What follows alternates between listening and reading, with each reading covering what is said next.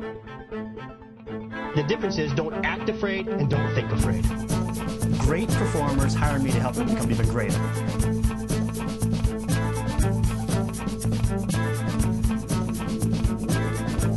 Look, I'm going to talk to you either way and get your attention.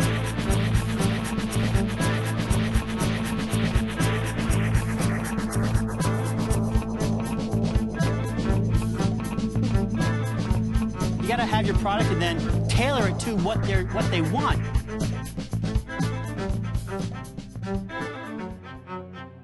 You don't have to be another statistic. We've assembled five experts to help you out. First up, what to do if you've lost your job.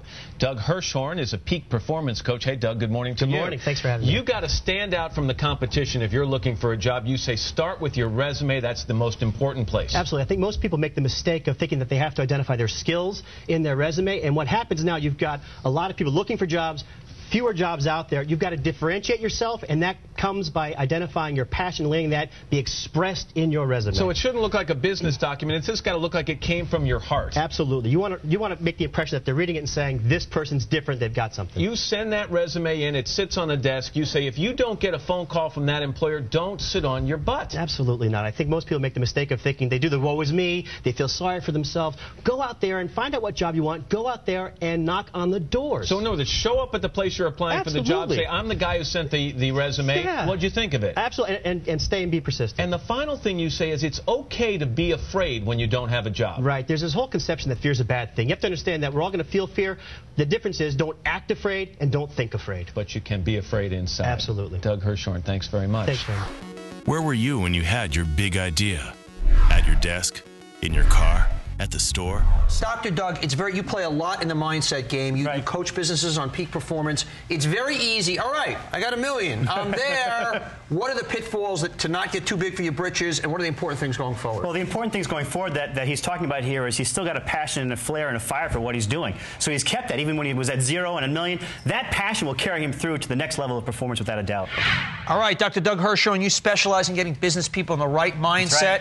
That's right. Bruce and MG, you've kind of seen that piece. Do they have the mindset? Do they have what it takes? They absolutely do. And, and there's a remarkable vibe that's coming off the two of these people. I had an opportunity to speak with them backstage, and as they're walking in here, they get it, they see it, they got a passion, they got that core, and they're running with the ball, and they're going to score a touchdown. now, you talk about the right mindset being the three C's. What are those? Confidence, control, and courage. Those are the three C's that I found in my opportunities to work with some of the top performers around. They all share these three things confidence, control, and courage.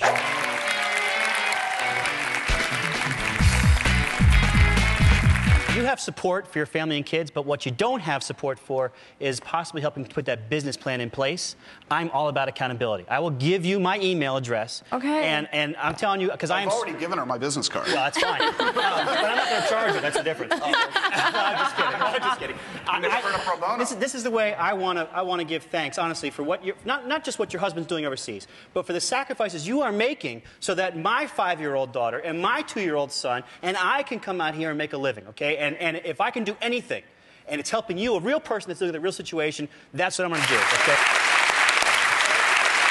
Let's bring on our, our head coach here, Doug. I mean, we're hearing a lot about reaction, overreaction, emotion, responding to you know subprimes, responding to the worries over the unwinding of the carry trade. What are you telling people right now? Well, it's more, it's more not necessarily what I'm telling people, but what I'm hearing from people and the feedback that I'm getting is that uh, the markets are made of emotions because they're a function of, of opinions and millions and millions of opinions placing bets at the same time. When you have volatility in the markets like this and uncertainty and, and almost an unclear direction, you have a lot of fear coming into place and a, and a lot of uncertainty. And, and the thing that helps people in those, in those times is we're all human and going to experience those things going back and forth like we're hearing in this fantastic panel. But you got to remember that, that if the fundamentals are in place, uh, look at things objectively, look at the risk reward evaluations of trades in the markets and situation. Remember, it's, it's a long term play. It's not just one month or one day or one week. You got to look at things like a whole season.